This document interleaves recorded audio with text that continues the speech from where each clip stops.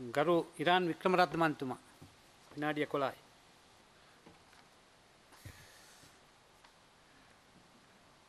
ලැසුන සිටින මන්ත්‍රීතුමනි අද සාපරාධී කරුණා වලදී අනෝන්‍ය නෛතික සහයෝගිත්වය දැක්වීම පිළිබඳව ලංකාවයි මහජන චීන සමූහාණ්ඩය අතරේ ඇති කරගන්නා මේ ගිවිසුම අ, ගැන වචනයක් අ, කීම වැදගත් වෙනවා. විශේෂයෙන්ම අපිට පෙනෙනවා මෙවැනි ජාත්‍යන්තර ගිවිසුම් අපි ඇති කර ගන්නකොට අපේ ස්වකීය දේශයේ නීති පද්ධතියට මෙන්ම ගිවිසුමේ අඩංගු විධිවිධාන වලට ඉතා පුළුල් ක්‍රියාමාර්ග තුළින් අන්‍යෝන නෛතික සහයෝගිකත්වයක් දැක්වීමට අපිට ක්‍රියා කරන්නට සිදු වෙනවා. ඇතටම ජාත්‍යන්තරය එක්ක සම්බන්ධතාවයල් තබා ගැනීමට ඒ වගේම අපේ රට මේ වගේ විවෘත සමාජ ක්‍රියාවලියක බියක් සැකයක් නොමැතිව ඉතිහාසයෙන් අපිට පේනවා අපි ජාත්‍යන්තරය එක්ක දිගින් දිගටම සම්බන්ධ වෙලා තියෙනවා කියලා මං හිතන්නේ මේක මෙතන බොහොම වැදගත් ප්‍රතිපත්තියක් වෙනවා. දැන් අපි දන්නවා මේකේ කරුණු රැසක්ම තියෙනවා අපි අද මේ සම්මත කරගත්තට පස්සේ චීන රජයයි අපි කොහොමද එකට ක්‍රියා කරන්නේ කියන එක මේ නියෝගවල සඳහන් වෙලා තියෙනවා. දැන් මම මොහොතකට කතා කරන්නට කැමැති මේ විවෘතභාවය ගැන කතා කරන්න මේක අවස්ථාවක් කරගන්නවා. අපි දන්නවා ලෝක ප්‍රසිද්ධ කියන්න පුළුවන් නවීන නවීන ආර්ථික විද්‍යාවේ පියාවන ඇඩම් ස්මිත් ඒ අර්ථ ශාස්ත්‍රවේදයා ඔහු ලියපු මුල් ග්‍රන්ථයේදී එක්දා සත්සය පනස් නමේදී ඔහු සඳහන් කළා විෂය මූලිකව අපි ඕන කරුණක් දිහා බලන්න අවශ්‍යයි කියලා කියන පුද්ගල මූලිකව නෙමෙයි ඔබ්ජෙක්ටිව් විෂය මූලිකව බලන්න ඕනේ කියලා. ඒ කියන්නේ තව විදිහකට කිව්වොත් අපි ඒක දිහා බලන්න ඕනේ අපේ සමාජ ඇසෙන් විතරක් නෙමෙයි අපි ඒ කරුණු දිහා බලන්නට ඕනේ ලෝකේ බලන ඇසෙන් නැත්තම් ජාත්‍යන්තර ඇසෙන් කියන දේ ඔහු ලෝකයට පෙන්වලා දුන්නා. දැන් අපි දන්නවා අපිට මතක ඇති 1990 දී ඇෆ්ගනිස්තානයේ ටැලිබාන් රජය ඒ ලෝක ප්‍රසිද්ධ බාමියන් බුද්ධ ප්‍රතිමාවන් ඔවුන් විනාශ කළා. ඒක ඔවුන් විනාශ කළපු අවස්ථාවේදී ටැලිබානයේ ඒ සමාජය එකඟ වුණා එදා ඒ කරපු විනාශය ගැන. නමුත් මුළු ලෝකයම එකට විරුද්ධ වුණා. මුළු ලෝකයම එක හෙලා දැක්කුවා. එක බොහොම බොහොම වැරදි ක්‍රියාවලියක් හැටියට මුළු ලෝකයම එක හෙලා දැම්මා. ඉතින් සමාජයක් දිහා බලනකොට එක සමාජය ඇසින් විතරක් නෙමෙයි අපි ලෝකයේ ඇසෙන් ජාත්‍යන්තර ඇසෙන් ඒක දිහා බලන්න අවශ්‍යයි. තව විදිහට කිව්වොත් තුන්වන පාර්ශවය වැදගත් වෙනවා. දැන් ඉතින් විවාහ ජීවිතේ විතරයි තුන්වෙනි පාර්ශවයට ඉඩක් නැත්තේ.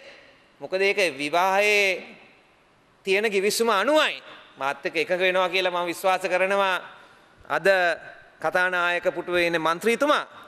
නමුත් අනිත් හැම එකම වගේ තුන්වෙනි පාර්ශවය වැදගත් වෙනවා. ඒ කියන්නේ විධායකයයි විවස්ථාදායකය ගත්තත් නිදහස් මාධ්‍යයක් තියෙන එක වැදගත් වෙනවා. ඒක තුන්වෙනි පාර්ශවය කියලා කියන්න පුළුවන්. ඒ වගේම පාර්ශව දෙකක් අතර ගැටුමක් තියෙනකොට ස්වාධීන විනිශ්චයකරුවෙක් ඉන්න ඕනේ. ඒ වගේම අපිට ජාත්‍යන්තරයෙන් ඉගෙන ගන්න හුඟක් දේවල් තියෙනවා. ජාත්‍යන්තරයෙන් ඉගෙන ගන්න. මේවා නැගෙනහිරෙන් වෙන්න පුළුවන්, බටහිරෙන් වෙන්න පුළුවන්. අපි විවෘත සමාජයක් නිසා තමයි අපේ රට බුදුදහමෙන් පෝෂණය වුණේ. අද අපි පාර්ලිමේන්තුවක ඉන්නවා. මේ පාර්ලිමේන්තුව ඇවිල්ලා බ්‍රිතාන්‍ය සම්ප්‍රදාය අනුව පිහිටුවන ලබපු ආයතනයක් වෙලා තියෙනවා. ඉතින් ජාත්‍යන්තරයෙන් පෝෂණය වෙලා තියෙනවා. අපි ජාත්‍යන්තරයට විවෘතයි. දැන් අපිට චීනයනුත් අපිට සෑහෙන උදව් පසුගිය කාල යුගයේදී ලැබිලා තියෙනවා. චීන රාජ්‍යයෙන්. දැන් අපි දන්නවා අද අපි දන්නවා නව චීන ජනාධිපති සීජිං බිං මහතා වන්බෙල්ට් වන්රෝඩ් කියන ඕබෝ කියල කියනවා ඒ ඔහුගේ ඒ ප්‍රතිපත්තිය චීන රජයේ ප්‍රතිපත්තියක් හැටියට ලෝකයට ඉදිරිපත් කරලා තියෙනවා. ඒ සැලස්ම ඉදිරිපත් කළ අවුරුද්දක් විතර වෙනවා මේ අවුරුදු අවසානයේදී කමියුනිස්් පක්ෂයේ මහසභාව විතින් චීනය තියෙන උසස්ම කියන්න පුළුවන් උසස්ම ආයතනය කියලා ඒ සභාව විසින් ඒක අනුපත්ව කරනවා විතරක් නෙමෙයි අලුත් පස් අවුරුදු සැලස්මකුත් චීනය අනුමත කරනවා දෙදස් දාසේන්දලා දෙදස් විස්ස වෙනකං. දැන් ඒ නිසා අපි මේ චීනය එක කරගන්න ගණු දෙනුවත් අද මෙතන සම්මත කරගන්න මේ සම්මත කරගන්න නියෝගත් වැදගත් වෙනවා. මොකද චීනය අපි දන්නවා ආසියාවේ තියෙන විශාලම ආර්ථික දෙකෙන් ඉන්දියාවයි චීනය තමයි වැදගත්ම ආර්ථික දෙක වෙන්නේ. දැන් මේ ඕබෝ සැලස්ම තුළ ඔවුන් සඳහන් කරනවා යටිතල පහසුකම් මේ අවට තියෙන රටවල් වල මධ්‍ය මාසියාවේ රටවල් වලත් දියුණු කරන්න ඔවුන් වැඩ පිළිවෙලක් ඉදිරිපත් කරලා තියෙනවා. දැන් වෙනකොට පසුගිය කාල පරිච්ඡේදය තුළ යටිතල පහසුකම් දියුණු කරන්න චීනය පමණක් නොවෙයි චීනයේ දායකත්වය ඇතුළුව අවට තියෙන රටවල් වල සමාගම් වලට ඔවුන් ආයෝජනය කළ ඩොලර් කෝටි හද්දාස් පන්සියක්. නමුත් ඊළඟ වකවානු ඊළඟ අවුරුදු පහ තුළදී ඔවුන් බලාපොරොත්තු වෙනවා ඩොලර් කෝටි හතලිස් දාහක් වියදම් කරන්න ඊළඟ අවුරුදු පහේදී. ඉති මම මේක කියන්න හේතු ඇවිල්ල මේක වැදගත්කම මේ සම්බන්ධතාවේ වැදගත්කම ගැන වචනයක් කියන්නට ඕන නිසයි. ඔවුන් මේවා කරන්න බලාපොරොත්තු වෙන්නේ රජයන් රජයන් අතර තියෙන සම්බන්ධතාවයල් G2G කියනවා රජයන් රජයන් අතර තියෙන සම්බන්ධතාවයල් හරහයි. එවිතරක් නෙමෙයි රිජු විදේශ ආයෝජනය ඔවුන් කෝටි දහදස් තුන්සීයක් තිබුණා ගිය කාල පරිච්චේදේ මේ ලබන කාල පරිච්චේද දෙදස් විස්ස වෙනකොට කෝටි විසිදාහක් ආයෝජනය කරන්න බලාපොරොත්තු වෙනවා. ඉති මේ සැලැස්ම තුළ අපි තසල්වාසි ආසියාතික රටක් අපිටත් මේ සැලැස්ම තුළ යම්කිසි ලාභයක් ලබාගන්නට පුළුවන්. මේක ලබාගන්නට චීන සංවර්ධන බැංකුව හරහා පසුගිය කාලය වගේම ඒ වගේම ඒෂයා ඉන්ෆ්‍රස්ට්‍රක්ෂ ඉන්වස්මන් බැංකුව නැත්තං ආසියානු යටිතල ආයෝජන බැංකුව කියලා අලුත් බැංකුවක් චීනය හදල තියෙනවා. විස්සයි විස්ස වෙනකොට ඔවුන් ආයෝජනය කරන ප්‍රමාණය ලෝක බැංකු ආයෝජනය කරන ප්‍රමාණයට වැඩිය වැඩී කියලා දැනට මේ සැලස්වන් තුළ ඇතුළ වෙලා තියෙනවා. ඉති මේ අපිට වැදගත් වෙනවා. එවගේම සිල්කරෝඩ් ෆන්ඩ එක තියෙනවා සේදමාවත අරමුදල තව කෝටි හතලිස් දාහක් විතර ඩොලර් උන් ආයෝජනය කරන්න බලාපොරොත්තු වෙනවා. එනිසා චීනය ලංකාවට දක්වල තියෙන දායකත්වයත් අනාගතයේදී අපේ රජයට ලබාගන්නට පුළුවන් දායකත්වය ගැන මම මේ අවස්ථාවේදී වචනයක් කිව යුතුයි. එවිතරක් නෙමෙයි මේ විවෘත වෙන්නට ඕනේ අපි ලෝකයට විවෘත වෙන්නට ඕනේ. හුඟක් වෙලාවට ජාත්‍යන්තරව ලංකාව ගැන කතාබස් කරනකොට වාද විවාද කරනකොට හුඟක් අය එක එක දේවල් මවල පෙන්නන්න හදනවා. බිය ගන්නවන්න හදනවා. අපි ස්වාධීන රටක්. අපි ඊය පෙරේද ස්වාධීන වෙච්ච රටක් නෙමෙයි බ්‍රිතාන්‍යයෙන් අවුරුදු හැට හතකට උඩදි ස්වාධීන වුණාට අවු දහස් ගණනකටම ස්වාධීන වෙලා තියෙන රටක්. එනිසා අපේ රටේ ස්වාධීනත්වය කාටවත් ලේසියෙන් නැති කරන්නට බැහැ. අපිට තියෙන්නේ නොබැදී විදේශ ප්‍රතිපත්තියක් තියෙන්නේ. ඒ ප්‍රතිපත්තිය අපේ ළඟ තියෙන ඉන්දියාව එක්ක මිතුරුකමක් තියාගෙන ගොඩනගන ප්‍රතිපත්තියක්. අපේ රජයට පුළුවන් වුණා ඒ කැඩී තිබුණ සම්බන්ධතාවය නමුත් අලුත් කරන්න. පළවෙනි වතාවට ඉන්දයානු අගමැති කෙනෙක් නරේන්ද්‍ර මෝඩිට අවස්ථාව ලබා දුන්නා ලංකාවේ පාර්ලිමේන්තු ආමන්ත්‍රණය කරන්න වෙන කිසිම ඉන්දයානු නායකෙකුට ඒ අවස්ථාව මීට ප්‍රතිමයෙන් ලැබී තිබුණ නැහැ. ඉතික වැදගත් රටක් වෙනවා. එවගේම මේ නොබැදී ප්‍රතිපත්තිය අනුව අපි ඉන්දියාවයි චීනයයි ඒ මිත්‍රභාවය තබාගන්නවා විතරක් නෙමෙයි. එමරිකාවේ යුරෝපයේ තමයි අපේ වෙළඳ පොල තියෙන්නේ. ඒ වෙළඳ පොල ආරක්ෂා වෙන විදියට අපේ රජය හැම පියවරක්ම ගන්නවා ඒ වෙළඳ පොල ආරක්ෂා කරන්න. අපේ ප්‍රතිපත්ති අපි ගෙනියන්නේ අපේ වෙළඳ පොල ආරක්ෂා කරන්නයි. අපේ රටේ පුරවැසියන්ගේ යහපත සඳහා කියලා අපි නැවත නැවත කියන්නට ඕනේ.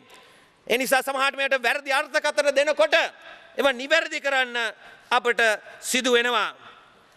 එවිතරක් නෙමෙයි මුලසුනේ සිරින මන්ත්‍රීතුමනි අපි දන්නවා විවෘතභාවයයි ඒවගේ විවෘත නැති රටවල් අතර තියෙන වෙනස. අද අපේ රටේ තරුණයන් ඇවිල්ලා අපිට රැකියාවක් ඉල්ලන්නේ අපෙන්.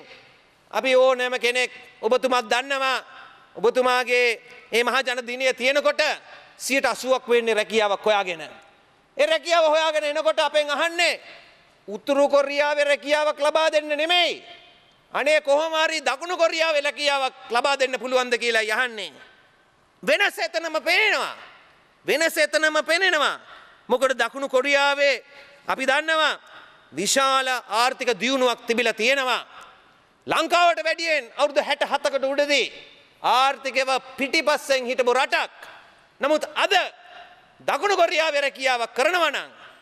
ඒ පෑකට තියෙන අඩුම වේතනය ඩොලර් හතරයි සත අසු එකයි. තව ඉදිකට කිව්වොත් එක පෑකට රුපියල් පන්දාහක් අවම අවම පඩිපොත හැටියට ලබාගන්නට පුළුවන් දකුණු කොරියාවේ. සමාවෙන්න පන්සීයක් ලබාගන්නට පුළුවන් පෑකට ලබාගන්නට පුළුවන්. ඒ කියන්නේ ඒ කියන්නේ දවසකට ඒ පෑකට එකන දවසකට රුපියල් හාර පන්දාහක් ලබාගන්නට පුළුවන් එක දවසකට පඩියට ලබාගන්නට පුළුවන්. ඒ වගේ අපි බැලුවොත් දළදේශය නිෂ්පාදනය සියට තුනකට විතර මේ අවුරුදු පහතුළ වර්ධන වෙලා තියෙනවා. උතුරු කොරියාවේ විස්තර ලබාගන්නවත් බැහැ.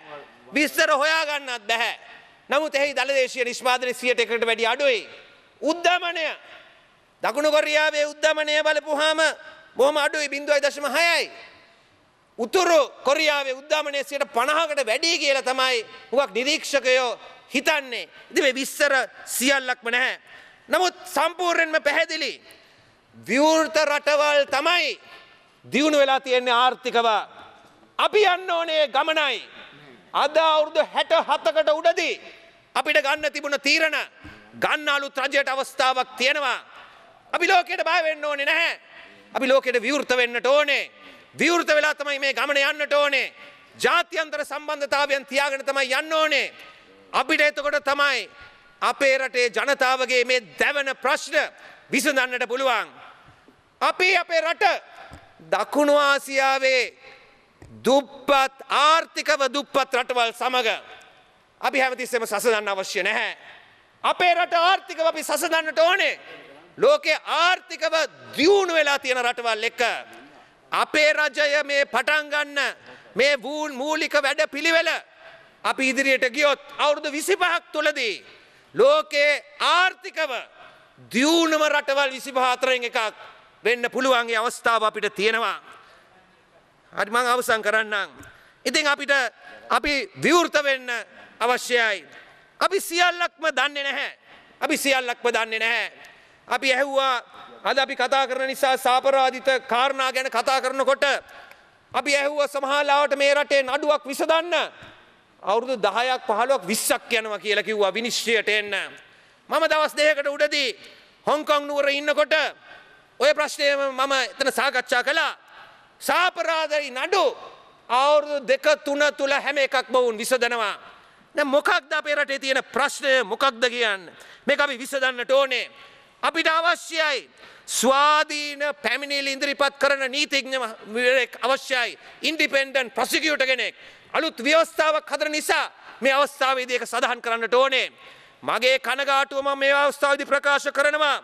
සුමන්තිරන් මන්ත්‍රීතුමා සඳහන් කරපු අර අම්ම කෙනෙකුවා අවුරුදු පහළවකට අපේ හිරගෙදරක නතර කරලා තිබීම ගැන අපේ මේ අධිකරණ පද්ධතියේ මේ අපි හදාගන්නට ඕනේ අවුරුදු පහළවක් අධිකරණයකට යොමු නොකර කොහෝමද දරුවන් තුන්දෙනෙක්ගේ අම්ම කෙනෙකුව අපි මෙම හිර කරගෙන ඉන්නේ. මේ අධිකරණ පද්ධතියට අපි වැඩියෙන් ආයෝජනය කරන්නට ඕනේ. මේක වැදගත් වෙනවා. අධිකරණය පද්ධතිය දියුණු කරලා යුක්තිය ඇති කළොත් පමණයි. අපිට අපේ ආර්ථිකය හදාගන්නටත් පුළුවන්. මම මීට ප්‍රථමයෙන් මේක කීප වතාවක්ම සඳහන් කරලා තියෙනවා. මේක අවසානයේ නැවතත් සඳහන් කරන්නට යනවා. අපේ අධිකරණ පද්ධතියේ ඉන්න විනිසිරුවරුන්ට අපි මීට වැඩිය පඩිගෙවන්නට ඕනේ. ශේෂ්ඨාධිකරණය ඉන්න විනිසිරුවරුන්ට මාසකට ලක්ෂ පහක් දෙන එක දෙන්න අවශ්‍යයි.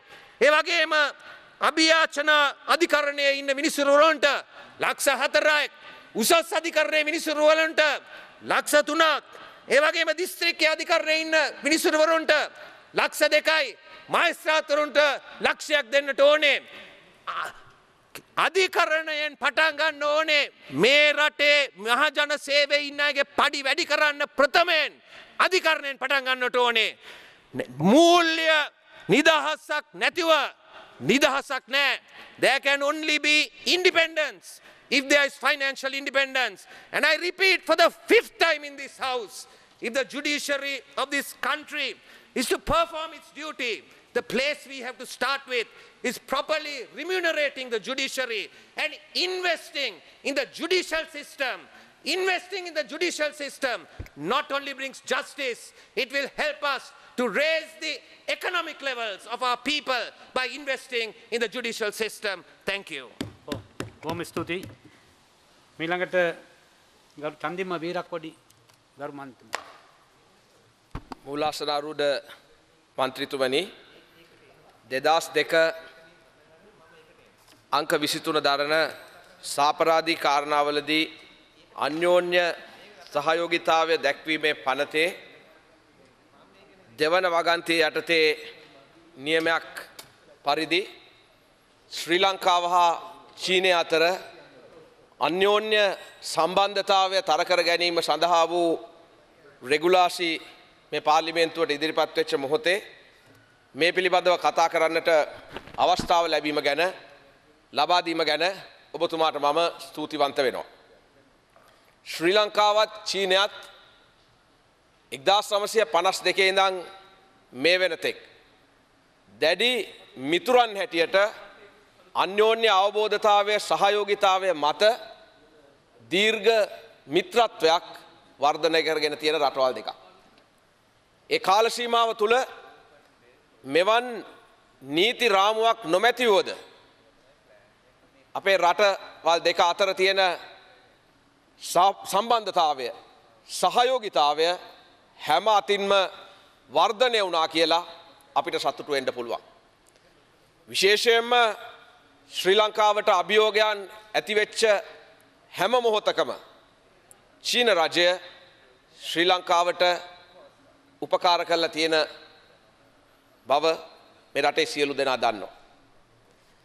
එවන් තත්ත්වයන් පහු කරගෙන යන අතරේ මේ රටේ ත්‍රස්තවාදය අවසන් වෙලා සංවර්ධන වැඩපිළිවෙල කෙරෙහි අපි යොමු වෙලා තියෙන මේ යුගේ ශ්‍රී ලංකාවත් චීනයත් අතර තියෙන වෙළඳ ගනුදෙනු එවගේම චීනයේ ආයෝජන දැවන්ත ලෙස වර්ධනය වෙලා තියෙනවා කියන එක අපි හැම දෙනාම පිළිගන්න කාරණයක්.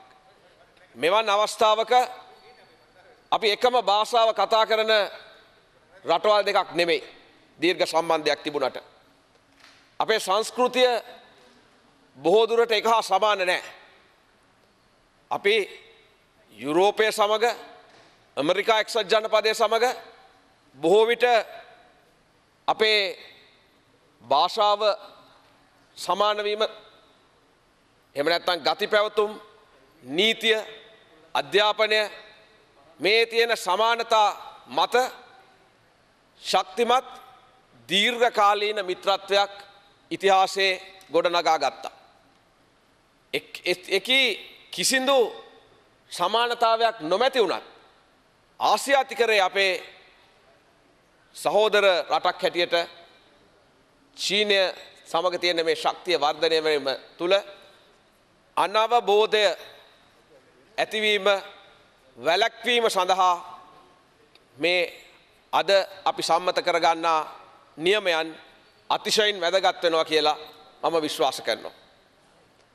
ඒ වගේම අපි මේ නියමයන් සම්මත කරගත්තට කරගන්නවා වගේම මං විශ්වාස කරනවා අපි එයාගේ භාෂාව අධ්‍යයනය කිරීම සඳහා අවධානයක් යොමු කරගත යුතුයි.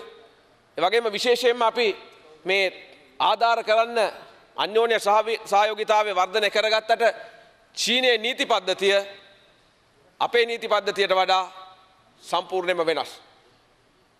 චීනය පමණක් නෙමෙයි අපි ගණු දෙනු කරන විශාල ලෙස ගණු දෙනු කරන බොහෝ රටවල ඒ අදාළ කාරණා සම්බන්ධ නීතියත් අපේ නීතියත් අතර යම් යම් වෙනස්කන් තියෙනවා. අපේ නීතිපති දෙපාර්තමේන්තුව ගැන කතා කරන්නට යෙදුනා. මගේ මාව නීතිපති දෙපාර්තමේන්තුවට බඳවගත්ත අපේ හිටපු නීතිපතිතුමා මගේ ඉදිරි ආසනේඉදගෙන කතා කරනකොට මට කියන්න සිද්ධ වෙනවා පැහැදිලිව අපේ නීතිපති දෙපාර්තමේන්තුව තමන්ගේ කටයුතු ස්වාධීනව හැකි උපරිම කාර්යශුරත්වයෙන් ඉතිහාසය ඉටු කල්ලා තියෙනවා වසරසිය ගණනක්. ඒ කාර්යභාරය තවදුරටත් ශක්තිමත්ව ඉටු කිරීම සඳහා.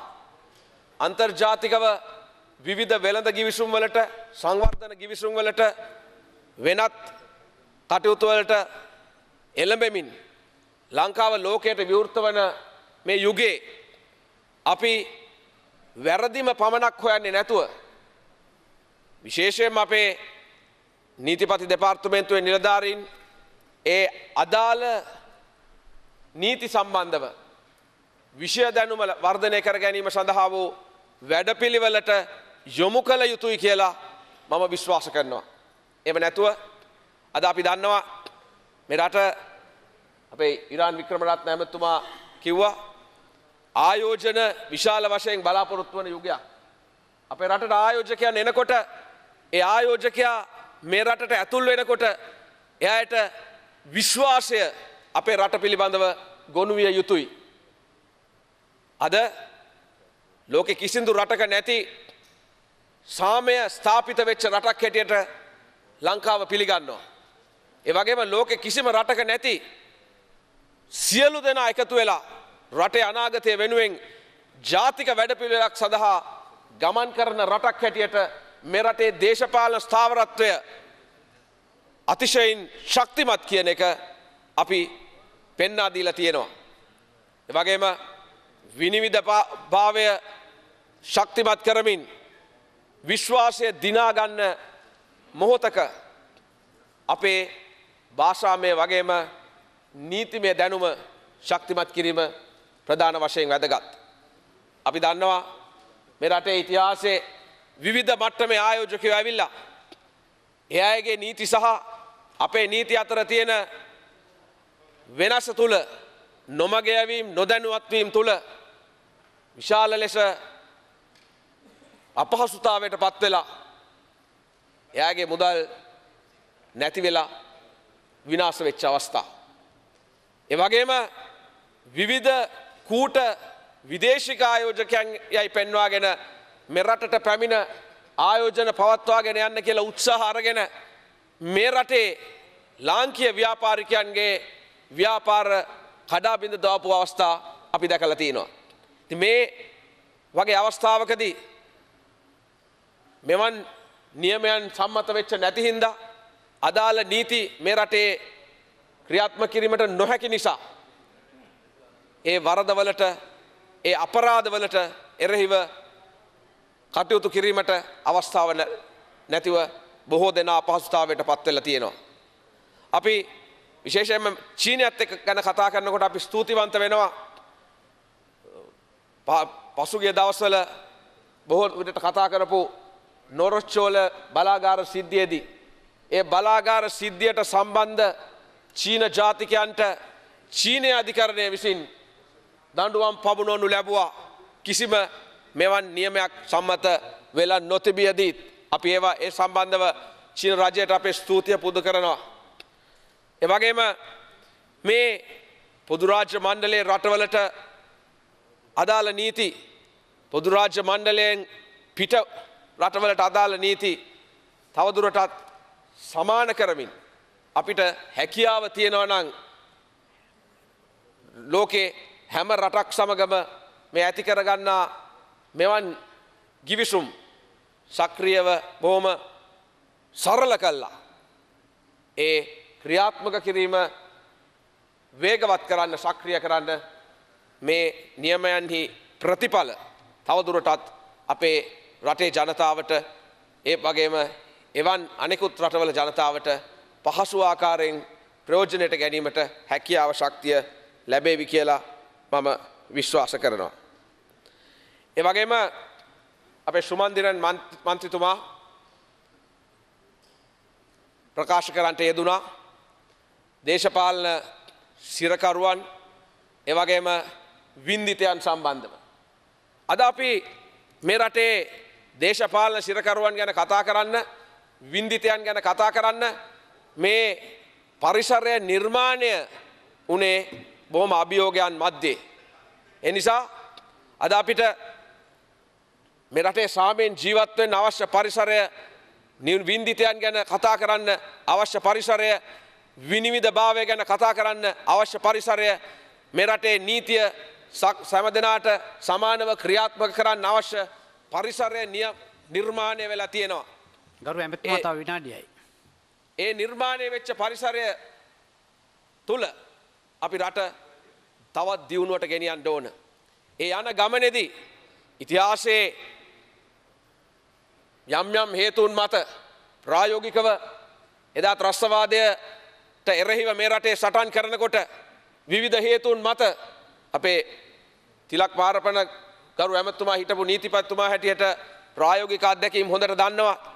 විවිධ හේතුන් මත සාක්ෂි සියයට සියක්ම නොමැති වුණත් ඒ රටේ ඒ මොහොතේ අවශ්‍යතාවය මත ක්‍රියාත්මක වෙන්නට කටයුතු කරන්නට අන්වීධංශවලට ඒ කාල සීමාව තුළ සිදුවෙන්න ඇති.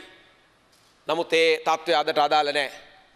එසේ ඒ තත්ත්වය අදට අදාළ නූනත් අපි සංහින්දියාව කරා සියලු දෙනා යන ගමනේ කිසි කෙනෙකුගේ හිත රිදවන්නේ නැතුව කිසිම කණ්ඩායමක කණ්ඩායමක් තුළ මේ ක්‍රියාවලිය පිළිබඳ අවිශ්වාසය ඇති කරන්නේ නැතුව ඒ ගමනයා යුතුයි. ඒ සඳහා උතුරු කර නියෝජනය කරන සුමන්දිරන් මන්ත්‍රීතුමාගේ වගකීම වගේම දකුණ නියෝජනය කරන අපේ වගකීමත් එක හා සමානව දායක විය යුතුයි කියලා මම දැඩිසේ විශ්වාස කරනවා. එම නැතුව අපි මේ මොහොතෙත් පටු වාසි තකාගෙන ඒ ඉතිහාසයට ඇගිල්ල දික් කරන්න ගියෝතින් අපේ තුවාලය හොඳ කරන්න නෙමේ වෙන්නේ තවදුරටත් ප්‍රශ්න ඇති වෙන එක.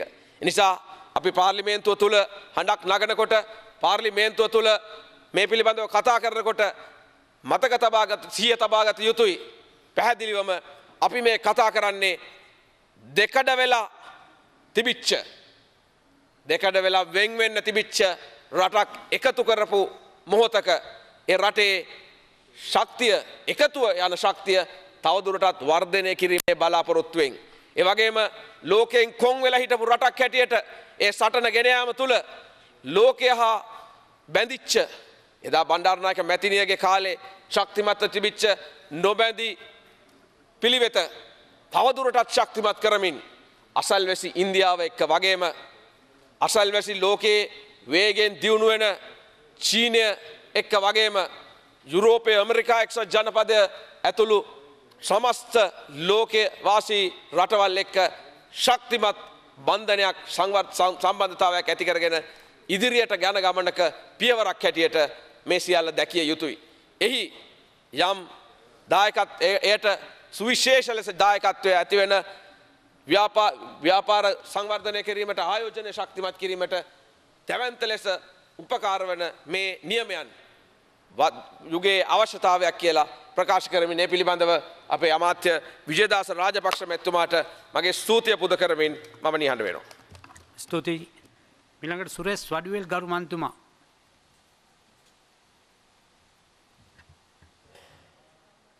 කාට කතාද?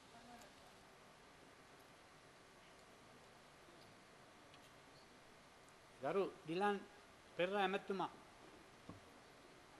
ගරු මූලසන උඩ මන්ත්‍රතුමනි අද දිනේ ඉතාම කාලෝචිත ඉතාම වැදගත් නියමයන් අපේ ගරු අධිකර නැමැත්තුමා සභාවට ඉදිරිපත් කරන වෙලාවේ ඒ පිළිබඳව අදහස් දැක්වීමට මට අවස්ථාවක් ලැබීම විට සතුට වෙනවා. පොදුරාජ්‍ය මණ්ඩලීය රටවල් එක සහ එවගේම පොදුරාජ්‍ය මණ්ඩලීය නොවන රටවල් එක්ක. සපරාදී ක්‍රියාවන් සම්බන්ධයෙන් අන්‍යෝන්‍ය වශයෙන් නීතිමය සහයෝගයන් ක්‍රියාත්ම කරන්ට ඇතිකරගත්තා වූ ඒ එකගතාවයන් මත අද දිනේ අපි පුදුරාජ්‍ය මණ්ඩලිය සාමාජිකටක් නොවන චීනය සමඟ ඒ සාපරාධී ක්‍රියාවන් වලදී නෛතික වශයෙන් එකට සහයෝගෙන් වැඩ කරන්ට නියමයන් ඉදිරිපත් කරන වෙලාවක තමයි අපි මේ විවාදයට සම්බන්ධ වෙන්න. කරු මුලාසරන උඩ සභාපතිතුමනි ඔබතුමා නුවර දිස්ත්‍රික්කේ විශාල කාලයක් දේශපාලනය නීල ඉන්න බොම ජේෂ්ඨ දේශපාලක්ඥයෙක්. ඔබතුමා දන්නවා අද අපි මේ නියමයන් පිළිබඳව විවාද කරන වෙලාවේ සාකච්ඡා කරන වෙලාවේ මහජන චීනයත් සමඟ මේ වගේ සහයෝගයෙන් වැඩ කරන්ට අපි කතා කරනකොට අපේ රටෙත් ඔබතුමායි මයි කවදාවත් බලාපොරොත්තු නොවිච්ඡාකාරයට ප්‍රධාන දේශපාලන පක්ෂ දෙක අන්‍යෝන්ගේ අන්‍යෝන්‍ය සහයෝගයෙන් විවිධ පොදුකාරණා සම්බන්ධයෙන් කටයුතු කරන්නට එකතු වෙලා තිබෙන. අනු හතර ඔබතුමයි මමයි පාලිමේන්තුව හමුවෙනකොට මෙහෙම දෙයක් වෙයි කියලා මං හිතන්නේ අපිට ඔබතුමාවත් මමවත් හීනෙන්වත් හිතුවේ නැහැ. හැබැයි එවැනි එකඟතාවයන් අද මේ රටේ පොදු ප්‍රශ්නවලදී එක එකතුව වැඩ කරන්නට අද ඇති වෙලා තිබෙනවා. ඒ නිසාම තමයි අපිට දකින්න ලැබෙන්නේ විවිධ පොදු එකඟතාවයන් එක්ක වැඩ කරන විරුද්ධ පක්ෂයකුත් මේ රටේ නිර්මාණය වෙලා තියෙනවා කියන කාරණා. මිට අවුරුදු 10කට 15කට ඉස්සෙල්ලා ගරු සම්බන්ධන් මැතිතුමා විපක්ෂ නායක වෙනකොට ඒ විපක්ෂයේ ප්‍රධාන සංවිධායක හැටියට අණ්ඩ කුමාර දිසානායක මැතිතුමා ඉන්නවා කියන කාරණය මේ රටේ ජනතාව හීනෙන්වත් හිතපු කාරණයක් නෙවෙයි. ඒ නිසා ගරු මූලස්ස සභාපතිතුමනි අලුත් දේශපාලන ගමනක් එකඟ වෙන්න පුළුවන් කාරණාවල් එකඟ වෙමින් එකට යන්නට මේ රටේ ජනතාව පෞගිය පාර්ලිමේන්තු මැතිවරණයේදී අපිට බල කරා. ජනතාවගේ තීන්දුව තමයි අවසානයෙන් අපි කවුරුත් පිළිගන්නාව තීන්දුව වන්නේ. ඒ නිසා බලකිරීම මත අද අපි ඒ දේශපාලන ගමන යනවා. එහෙත් සමහර අයට තාමත් මේ කාරණේ ඒ විදිහටම තේරුම් ගැනීමට තියෙන නොහැකියාව පිළිබඳව අපි කනගාටු වෙනවා. අපි සමහර වෙලාවට තාමත් මේ පාර්ලිමේන්තුවේ දෙපැත්තේ ඉඳගෙන තාමත් අර අපිට හුරු පුරුදු අර පාට කණ්ණාඩි දාගෙනම අපි සමහර වෙලාවට වාද විවාද කතා කරනවා අපිට ඇහෙනවා දකිින්ට ලැබෙන. අද චීනයත් සමඟ මේ ඇති මේ නියමයන් හරා ඇති කරගන්නාව එකඟතාවයන් හරහාවත් එවැනි අපි කවදාවත් බලාපොරොත්තු නොවෙච්ච එකඟතාවයන් විධ කාලවකමානුරතලදී බලාපොරොත්තු නොවන එකඟතාවයන් ඇතිකරගන්ට අපිට අපේ රට ඇතුළෙත් පුළුවන් වෙන්ට ඕනේ කියන කාරණය තමයි මං ඉස්මතු කරන්න උත්සාහ කරන්න. දැන් අපි අද කතා කරන්නේ සාපරාධී ක්‍රියාවන් සම්බන්ධයෙන් චීනය සහ අපි අතර ඇති එකඟතාවයන් සම්බන්ධයෙන්. මෙතන ඉන්නවා මට වඩා හොඳට නීතිය දන්න ආචාර්ය ජයම්පති වික්‍රමතුමා මට වඩා හොඳට දන්න නීතිය දන්න ආචාර්ය විජේදාස රාජපක්ෂ මැතිතුමාලා අපේ රටවල් දෙකේ තියෙන නීති පද්ධති සම්පූර්ණයෙන්ම වෙනස් කෙනෙක්. අපි ඒත් මෙවැනි එකඟතාවයන් වලට යන්න හැකියාව ලැබිලා තිබෙනවා. හැබැයි එහෙම යන ගමන්ම මීට දවස් තුනකට ඉස්සෙල්ලා මේ පාර්ලිමේන්තුව අපි විවාද කරනවා අපේ නීති පද්ධතියේ තියෙන හරපද්ධතියෙන් ආපස්සට අරන් යන්න එල්ලුම් ගහගෙන ඕන කියලා. මේ මේ අපි දකින පරස්පර තත්ත්වයන්. අපි රිසානා නෆීක්ගේ සිද්ධිය වෙලාවේ මට විරුද්ධව එක්සත් ජාතික පක්ෂයේ සමහර අයත් ජනතා විමුක්ති පෙරමුණේ මගේ ආදරණීය මිත්‍රයිනුත් විශ්වාස භංග යෝජනා ගෙන වෙලාවේ අපි කිව්වේ ඒ ශරියා නීතිය අමානුෂික නීතියක් කියලා. එහෙම කියවලා අද කියනවා ඒ විදි ඒකම මෙහෙට ගේන්ට ඕනේ කියලා මානුෂ්‍ය කරලා. දේශ මම කිව්වේ සමහර දේවල් පිළිබඳව අපි ඉන්නේ හරි අවබෝධයකින් නෙවෙයි. අපි ඉන්නේ හරි අවබෝධයකින් නෙවෙයි. හැබැයි අපි ඒ ලුංහා යෝජනාව මේ සභාවේ අපි ලබ දැක්කා පක්ෂපාත ભેද වලින් තොරව දෙපැත්තම ඉන්න උද മന്ത്രിතුමාලා මේකට නියමාකාර විසඳුම දේශපාලන වශයෙන් වාසි ගැනීම සඳහා එකපාරටම එල්ලුම් ගහ ගේන්න ඕනේ කියන කාරණේ නෙවෙයි. ඉන් ඔබට ගිහිල්ලා මේක දිහා ගැඹුරින් බලන්නට ඕනේ කියන මතයට ආවා. අද අපේ අධිකරණ පද්ධතිය දිහා බලමු. අපේ අධිකරණ පද්ධතිය තුළ අපට වෙනත් රටවල්ලා සමහර සංසන්ධනාත්මක බලන්නකොට අපේ විනිශ්චකාරවරුන් අපේ නීතිඥයෙන් ඉතාම දක්ෂයි ඉන්න. ජාත්‍යන්තර මට්ටමේ විවිධ අධිකරණවලට ගිහිල්ලා අපේ හැකියාව පෙන්නපු සහ පෙන්න්නන අයත් මේ මෝතෙත් ඉන්නවා. හැබැයි තාමත් අපේ රට තුළ අපිට කියන්න පුළුවන්ද නීතිය සල්ලි වැඩියෙන් තියෙන කෙනාටත් බලය වැඩියෙන් තියෙන කෙනාටත් සල්ලි අඩුවෙන් සහ බලය අඩුවෙන් තුනා කෙනාටත් සමානව අපට දකිින්ට ලැබෙනවා කිය. අපි නීතියේ සිද්ධාන්තයක් තියෙනවා නීතිය ක්‍රියාත්ම කරලා මදි නීතිය ක්‍රියාත්මක කරන බව පේන්ටත් ඕන කිය.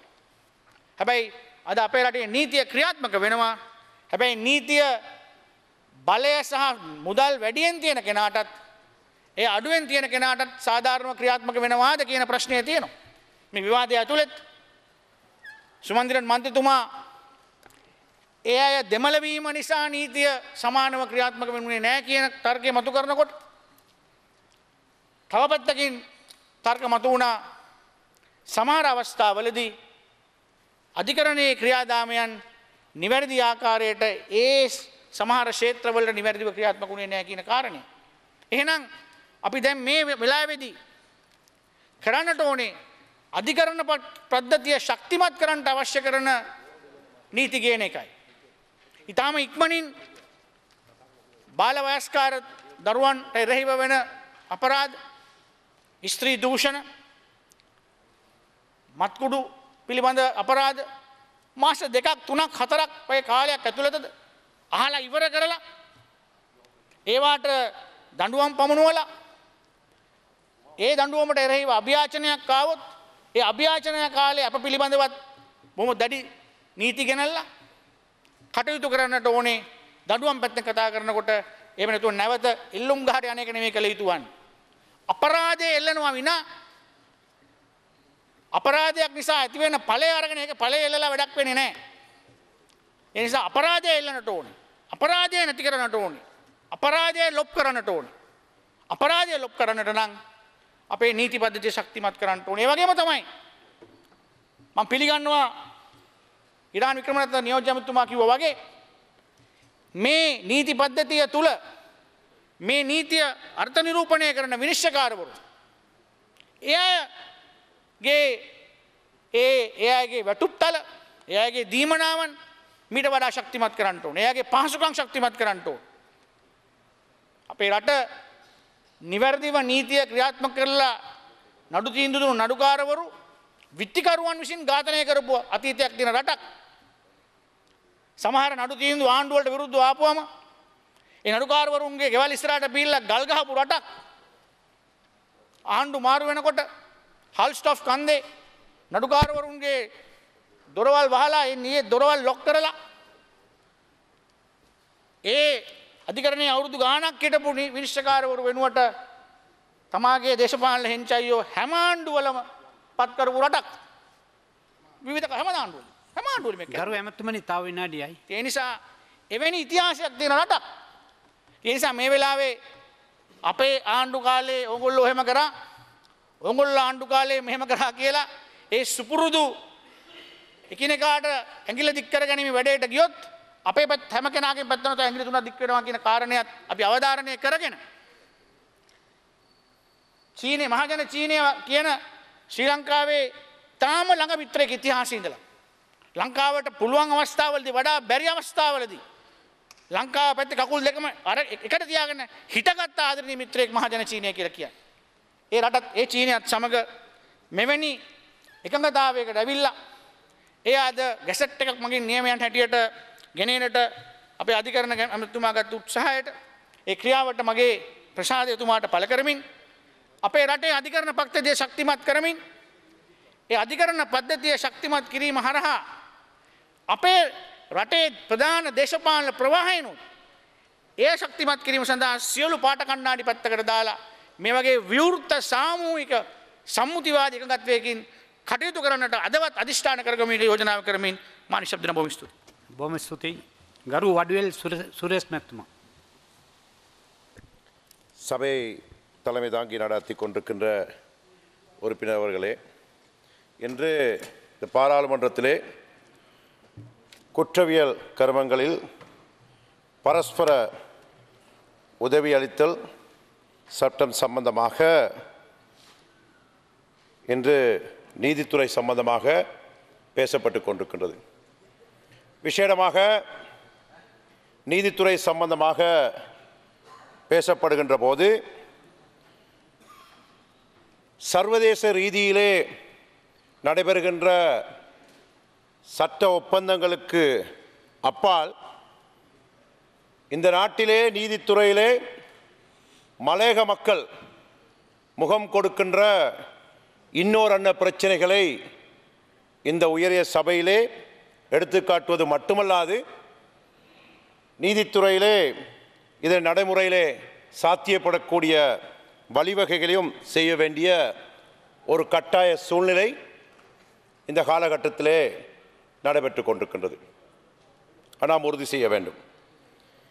இன்று உயர் நீதிமன்றம் மாவட்ட நீதிமன்றம் இவை அனைத்துக்கும் அப்பால் பெருந்தோட்டத்துறையிலே தோட்டத் தொழிலாளருடைய தொழில் நீதிமன்றம்.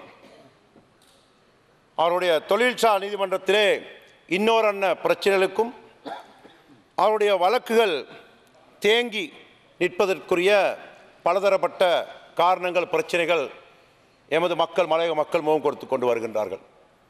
சாதாரண தோட்ட தொழிலாளி தன்னுடைய தொழில் ரீதியான ஒரு பிரச்சனை வரும்போது அந்த தோட்ட நிர்வாகத்தின் மூலமாக அந்த தோட்ட தொழிலாளருடைய வேலை நிறுத்தம் நடைபெறும் போது தொழிற்சங்கம் மூலமாக தொழில் நீதிமன்றத்தை நாடுகின்றார்கள்.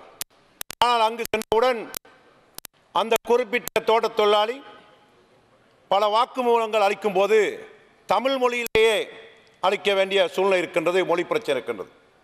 ஆனால் அந்த நீதிமன்றத்திலே தமிழ் மொழியிலே பேசக்கூடிய அதிகாரிகள் இருக்கின்றார்களா? அல்லது அங்கு மொழிபெயர்ப்பதற்குரிய மொழிபெயர்ப்பாளர்கள் இருக்கின்றார்களா என்பது மிகவும் கேள்விக்குறியாகவே இருக்கின்றது. இந்த மொழிபெயர்ப்பு இல்லாத காரணத்தினால் அந்த அப்பாவி தோட்ட தொழிலாளர்கள் தங்களுடைய காலத்தையும் பொருளாதாரத்திலே பாரிய பின்னர் இருக்கின்ற அந்த மக்கள் பல பிரச்சனை முகம் கொடுப்பது மட்டுமல்லாது அந்த தொழில் வழக்குடைய தீர்ப்பு வழங்கப்படுவதற்கு முன்பதாகவே அவர்கள் இறந்து போகக்கூடிய சந்தர்ப்பங்களும் கூட கூடுதலாக இருக்கின்றது. ஆகவே தீர்ப்பு வருவதற்கு முன்பு வருடாகாலமாக இந்த இழுத்தடிப்பு இந்த தாமதத்தின் காரணத்தினால் அந்த சாதாரண தோட்ட தொழிலாளி பல வருடங்களாக தன்னுடைய அனைத்து சொத்துக்களையும் இழந்து பொருளாதாரத்திலே முகம் பிரச்சனை முகம் கொடுத்து அவர் இறந்தும் போகின்றார். அப்பொழுது அவருக்குரிய ஊழியர் சேமலாபநிதி அந்த தோட்ட நிர்வாகத்தை வழங்கக்கூடிய அனைத்து சலுகைகளுமே அங்கு இல்லாமல் ஒழிக்கப்படுகின்றது. ஆகவே இந்த நீதித்துறையிலே நாங்கள் இந்த சபையிலே இன்னொரு என்ன பிரச்சனைகள் இங்கு கலந்துரையாடப்படும் போது பெருந்தோட்ட நிர்வாகங்களிலே நடைபெறுகின்ற மனித உரிமை மீறல் சம்பந்தமாகவும் இந்த சபை கவனம் செலுத்த வேண்டும். பெருந்தோட்டங்களிலே கர்ப்பிணி தாய்மாரிலிருந்து தோட்ட தொழிலாளர் வரை தோட்ட நிர்வாகங்களுடைய கெடுபிடிகள் மனித உரிமை மீறல்கள் அங்கு நடைபெற்று கொண்டிருப்பதை இந்த சபையிலே நான் எடுத்து வைக்க விரும்புகின்றேன். ஆகவே இன்று ஒரு தோட்ட தொழிலாளியை பெயர் பதிவதென்றால் அவர் கர்ப்பிணியாக இருக்கின்றார் என்ற பரிசோதனை செய்யக்கூடிய சில அநாகரிக செயற்பாடுகளும் கூட சில தோட்ட நிர்வாகங்களிலே அங்கு அரங்கேற்றி கொண்டு கொண்டிருக்கின்றது. ஆகவே நாங்கள் இந்த நாட்டிலே இலங்கை ஜனநாயக சோசலிச குடியரசினுடைய நாட்டிலே ஒரு நீதி இருக்கின்றது ஒரு சட்டம் இருக்கின்றது. அந்த நீதித்துறையை சட்டத்துறை சரியான முறையில் நடைமுறைப்படுத்தப்படும் போது மலையகத்தை பொறுத்தவரையிலே மலையக மக்களுக்கும் இந்த நாட்டினுடைய பொருளாதாரத்திலே முதுகெலும்பாக செயற்பட்டு கொண்டிருக்கின்ற பெருந்தோட்ட மக்களுடைய உரிமைகள் சலுகைகள் நீதிகள் அனைத்தும் ஏனைய சமூகத்தில் போன்று சமமாக பெறக்கூடிய வாய்ப்புகள் இருக்க வேண்டும். ஆகவே சட்டம் சட்டம் சம்பந்தமாக இந்த நாட்டினுடைய சட்டம் சம்பந்தமாக தெளிவுபடுத்தக்கூடிய இந்த நீதி அமைச்சின் மூலமாக பெருந்தோட்டங்கள் தோறும் தெளிவுபடுத்தும் பெருந்தோட்ட மக்களுக்கு சட்டம் சம்பந்தப்பட்ட தெளிவுபடுத்தும் சில வேலை திட்டங்களையும் இந்த நீதி அமைச்சின் மூலமாக நடைமுறைப்படுத்த வேண்டும் என்று நான் இங்கு கூறிக்கொள்ள விரும்புகின்றேன்.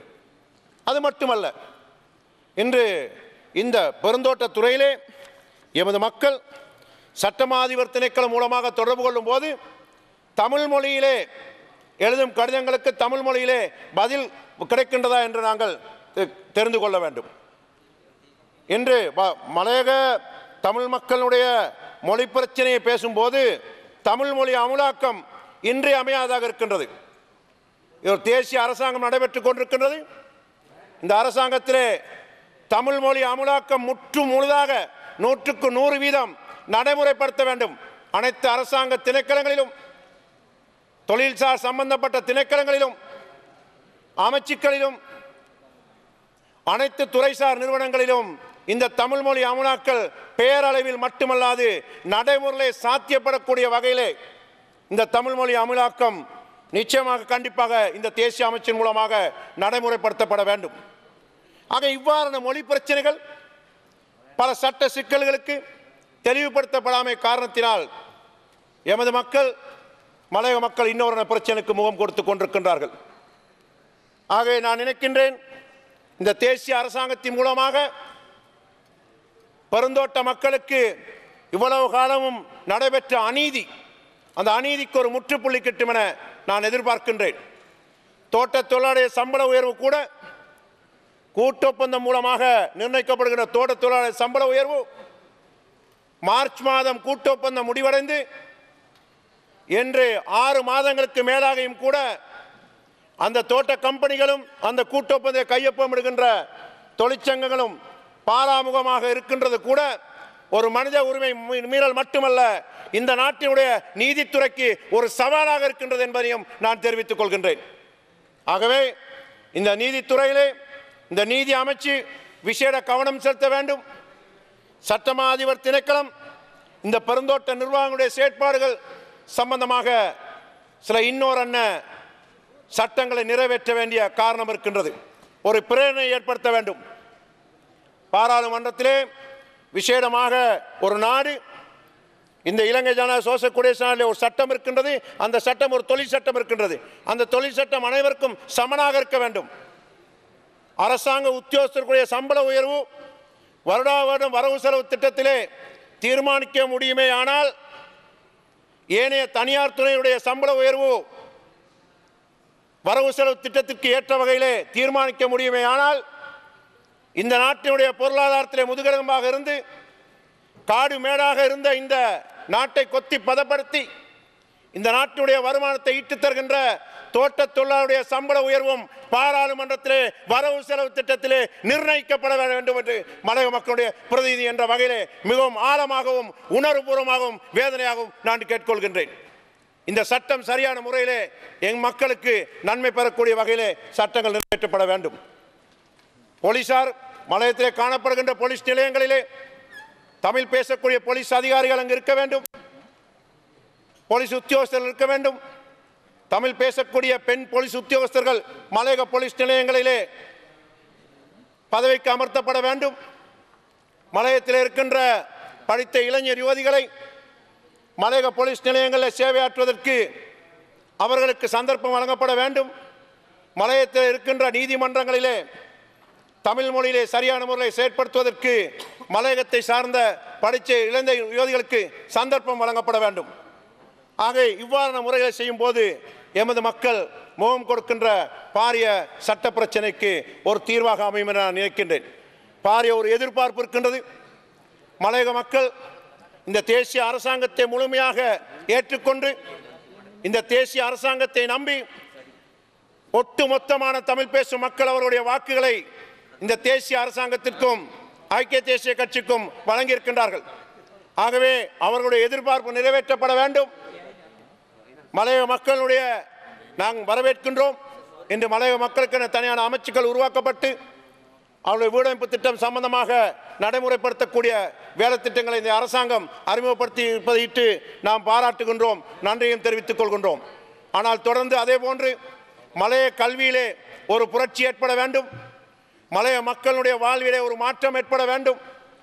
ஆகவே இந்த மலைய மக்களுடைய கல்வியிலே ஒரு பாரிய புரட்சியை ஏற்படுத்துவதற்கு இந்த தேசிய அரசாங்கத்தினுடைய முழுமையான ஒத்துழைப்பை நாம் எதிர்பார்க்கின்றோம்.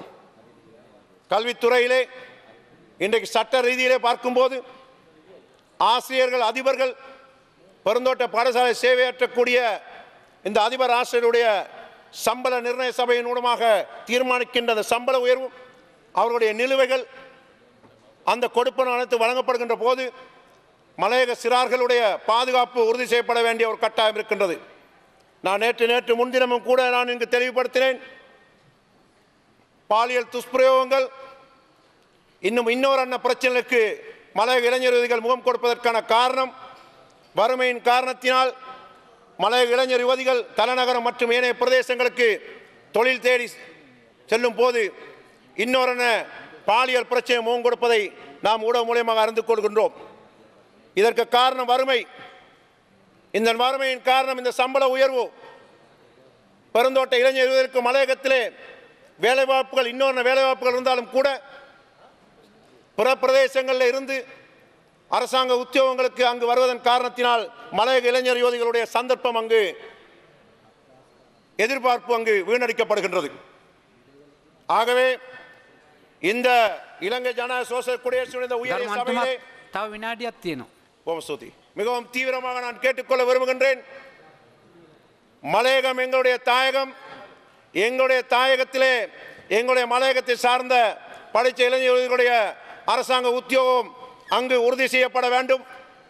வேறு பிரதேசத்திலிருந்து மலையகத்திலே இருக்கின்ற அரசாங்க நிறுவனங்களிலே சேவையாற்றுவதற்கு மொழி பிரச்சனைக்கு மத்தியில் வேறு மொழியை சார்ந்தவள் ஒன்று அங்கு திணிக்கப்படாமல் மலையத்தில் இருக்கின்ற அனைத்து நீதிமன்றங்களிலும் தமிழ் பேசக்கூடிய தமிழ் உத்தியோகஸ்தர்களை உடனடியாக நியமிக்கக்கூடிய நடவடிக்கைகளை இந்த உயர் சபை மேற்கொள்ள வேண்டும் என்று கேட்டுக்கொள்வதோடு தொடர்ந்து எங்கள் மக்களுடைய மனித உரிமை மீறுகின்ற பெருந்தோட்டங்கள் அவருடைய சம்பள உயர்விலே கூடிய கவனத்தை இந்த சபை எடுக்க வேண்டுமென தெரிவித்து இந்த சந்தர்ப்பத்திற்கு நன்றி கூறி விடைபெறுகின்றேன். நன்றி வணக்கம்.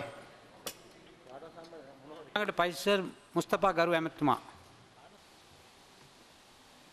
Honorable Member, I'm thankful that I'm given an opportunity to speak with regard to this matter. This matter relates to mutual assistance in criminal matters.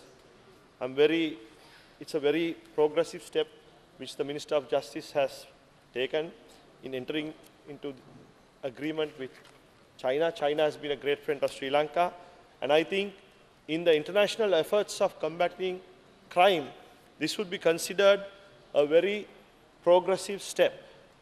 However, I would like to move away from this issue to an issue which His Excellency the President and the Honorable Prime Minister has taken great efforts in saving Sri Lanka from the, from the international community.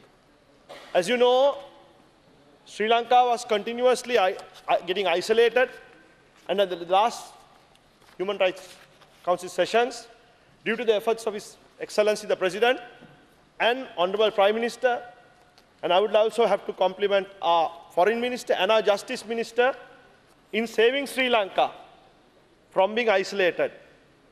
One of the issues which, which has been raised is that we have conceded to a hybrid system, judicial system, by this resolution. I would like to inform this House the judicial powers is vested in this House. I would like to refer to Article 4C of the Constitution. The judicial powers of the people shall be exercised by Parliament through courts, tribunals, and institutions created and established or recognized by the Constitution or created and established by law. Therefore, it is the, it is the right of this House to decide what our legal institutions are. So therefore, one needs to make an allegation that a resolution can create courts, I believe that this is done solely for the purpose of political motive or for the purpose of discrediting the government, which has taken great efforts in taking Sri Lanka back to the international community. We were moving to being isolated, and we are losing all our friends in the international community.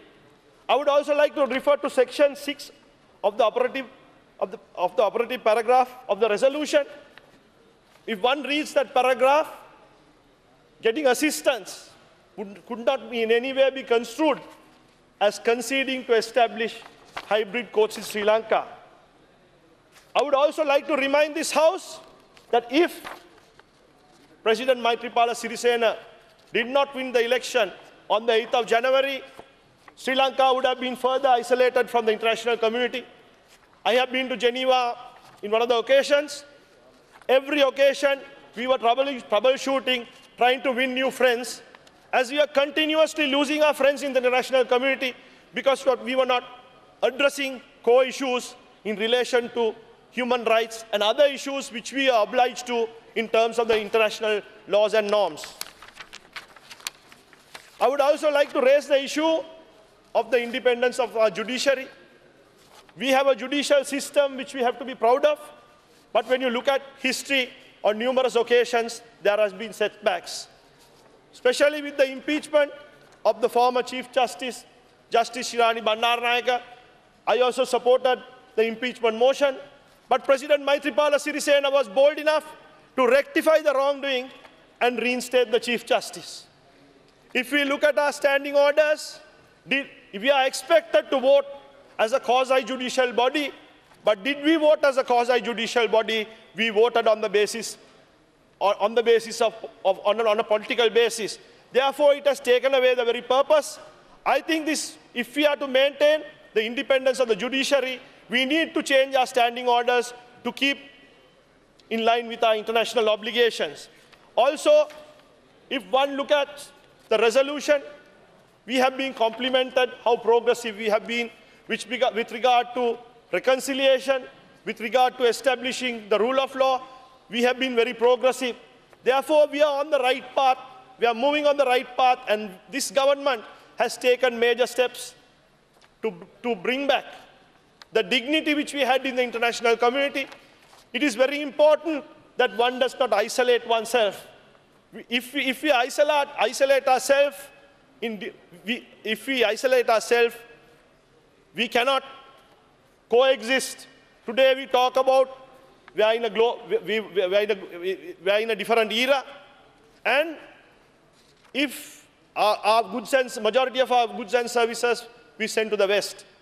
But today, we should be proud that the, the Western, the Eastern world, and, and India are all with Sri Lanka and are all supportive our efforts in with regard to reconciliation. There is a lot need to be done with regard to rec- reconciliation. His Excellency the President, President Maitripala Sirisena, is spending a lot of time in the northern and eastern province. The people in the north and the east, for 30 years, they have had economic and other setbacks. We need to put them right. Today, We have the leader of the opposition from the TNA, which is a very progressive step. And we also have a very progressive step, the nominee to the Constitutional Council by the leader of the opposition is Mr. John Sediviratna, who is from the UPFA. So today, we are all coexisting, we are working together, we are working in harmony, and that is where Sri Lanka should be. So with the, with his, with the vision of His Excellency the President, and together with Prime Minister Honorable Ranil Wickremesinghe, we are a national government today. We are all putting our party differences aside for the betterment of the country. And I believe this collective, collective effort will bring fruits to the country. Thank you.